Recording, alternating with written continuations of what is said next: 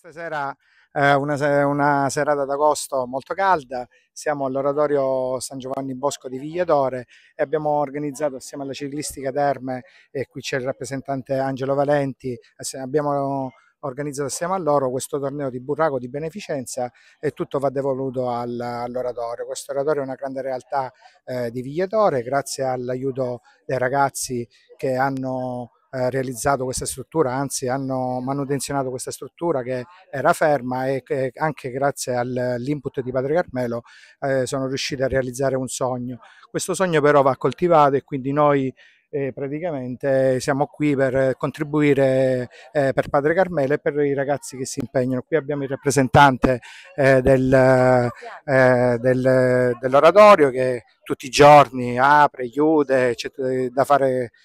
tutto quello che c'è da fare. Eh, noi cerchiamo di unire l'utile al dilettevole, siamo degli appassionati di, di burraco. Io, oltre ad essere un appassionato di bicicletta, sono appassionato di questo gioco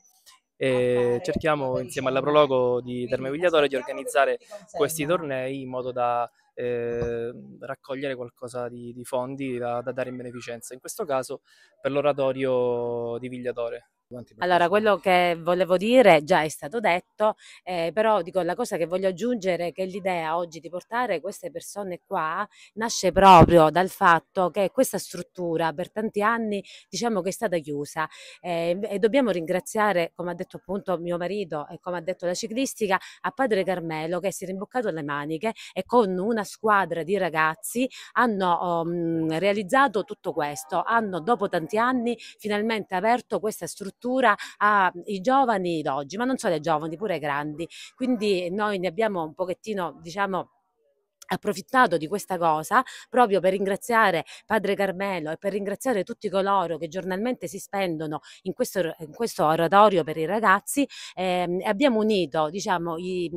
il gioco con, ehm, con l'utile, eh, perché mh, mhmm, questo, tutto il ricavato eh, sarà appunto donato all'oratorio per poter eh, comprare eh, dei giochi che possono utilizzare i ragazzi.